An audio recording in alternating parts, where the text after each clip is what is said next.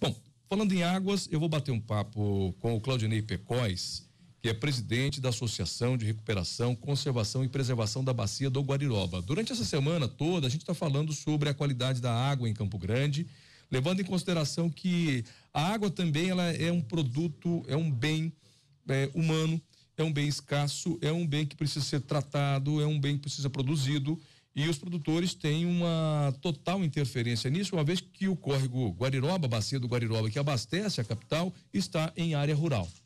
E o Claudinei, que é presidente da Associação do, dos Produtores, para recuperar e conservar a bacia do Guariroba, está aqui, porque nós tivemos no passado um assoreamento ou um início de assoreamento do córrego Guariroba e foi preciso um esforço muito grande de entidades, da concessionária Águas da Guariroba, Prefeitura, Universidade Federal, o entendimento dos produtores para que fosse recuperado esse passivo ambiental. E para isso convidamos o Claudinei, essa semana já falamos com o professor Teodorico Alves, da UFMS, falamos com o Fernando Garaio, que é engenheiro ambiental, colunista aqui também da Águas da Guariroba, e agora veio o presidente. Bom, Claudinei, primeiro bom dia, tudo bem? Bom dia, Éder Campos, bom dia, equipe CBN, bom dia aos ouvintes também da rádio.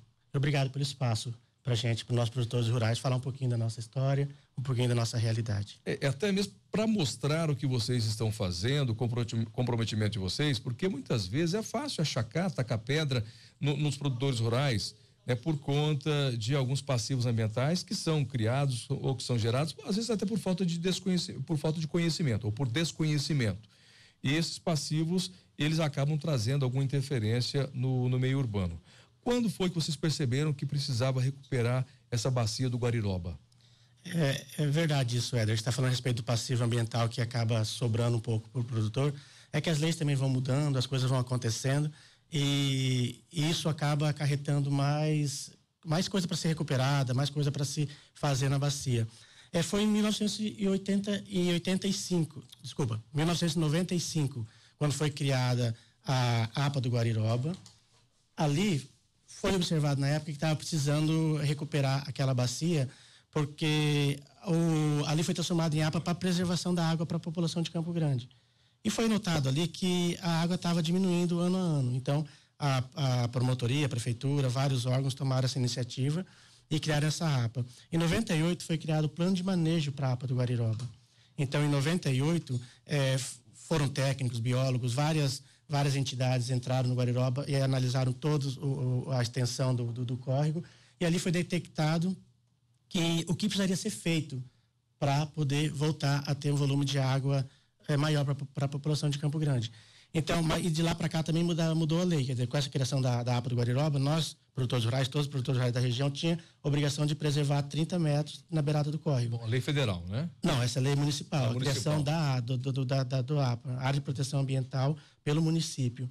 E ali, toda, toda a população do estado é, tem a obrigação de preservar é, 30 metros. Nós, por sermos da APA, passou a ser 50 metros. Então ali uhum. subiu 20 metros a mais das nossas. Da a, média da nossa, aqui no, no, município. No município da nossa APP, não só ali para a região da, da, nossa APA, só, na, só nós produtores de água. Isso quer dizer que 50 passou, metros do córrego não pode ser desmatado. Não é pode ser desmatado. E, então, o, o problema foi isso, que a gente já preservava 30, subiu 20 metros a mais. Imaginar que esses 20 ah, metros era tudo a área produtiva. Tá. O que está sendo recuperado, então, são 20 metros e não os 30 metros que você já preservavam. É, então, os 20 metros a mais que foram, que, que veio pra gente depois da mudança dessa lei. Ah. Então, tudo era pasto. Era alguns produtores de peixes. Vocês é, tiveram que replantar nesses 20 metros? Nós né? tivemos que fechar, subir a cerca 20 metros acima. Uhum gente que estava tendo piscicultura, tanque, está sendo impedido de, de, de, de ter, ter área produtiva. É, o gado, claro, não pôde entrar mais. E o que era, era pasto virou uma área, uma obrigação nossa de, de, de restauração. Tá, um, um, entendimento, então.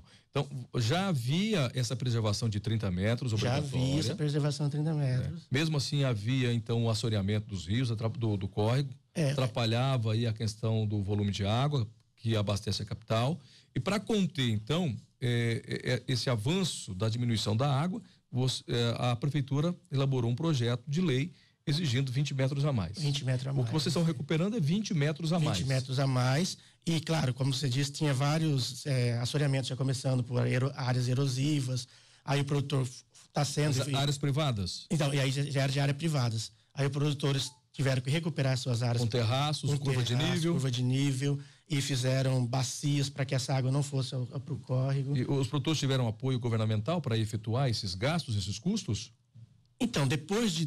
Isso, foi, isso foi em 98 que teve essa lei. Uhum. Aí levou 10, levou 12 anos para que a gente pudesse começar a receber ajuda para realmente efetivo. Então, nós tivemos 12 anos sendo cobrado é, é, a, a, a, recuperar isso sozinhos. A partir de 2010 foi criado o Manancial Vivo, que é o programa produtor de águas aqui para Campo quem, Grande. De quem é esse projeto? Esse programa do governo? Esse, esse projeto veio da ANA da, da Agência, Nacional, Nacional de, de, Águas, Águas né? que viu um exemplo em, em Nova York. Lá está um exemplo muito positivo lá dos produtores de água de Nova York. É, isso foi depois feito em Extrema, Minas Gerais. Minas Gerais foi a primeira bacia a, ser, a ser recuperada, inclusive com recurso vindo de São Paulo, porque ali muitas coisas, a água dali vai para o Cantareira, então São Paulo ajudou muito claro. Minas financeiramente. Vimos esse projeto lá. Na época, os, a Associação dos Produtores Rurais da Bacia do Guariroba, criamos DVD, levamos para vários órgãos, para o Sindicato Rural. Pedindo apoio. Pedindo apoio para a gente trazer o produtor de água para cá. Fomos até a ANA, que é a Agência Nacional de Águas, ela que estava levando esse projeto para a Extrema, e vimos a possibilidade de vir para cá. Então foi, uma, foi um tempo de, de, de, de luta, 12 anos de batalha, é, de, de, de mostrar para os órgãos governamentais a importância desse projeto. Qual o resultado que vocês contabilizam hoje, depois de 12 anos?